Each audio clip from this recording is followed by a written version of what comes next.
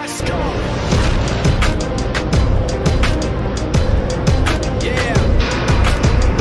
those of you that want to know what we're all about, it's like this, y'all. 10% luck, 20% skill, 15% concentrated power percent pleasure, 50% pain, 100% reason to remember the name. He doesn't need his name up in lights, he just wants to be heard, whether it's the beat of the mic. He feels so unlike everybody else, alone, in spite of the fact that some people still think that they know him, but fuck him, he knows the code. It's not about the salary, it's all about reality and making some noise, making a story, making sure his click stays up. That means when he puts it down, toxic.